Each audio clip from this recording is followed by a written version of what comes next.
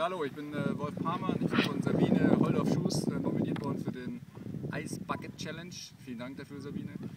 Äh, ich bin gerade auf dem Feldberger See mit guten Freunden und Ermangelung von Eiswasser gibt es eiskaltes äh, Wasser aus den Feldberger Seen. Meine Kandidaten sind äh, Frau von Laufenberg, die, wie ich finde, beste Lehrerin der Welt, das Sportidol meiner Jugend, Willi Holdorf und mein Landesvater Thorsten Albig.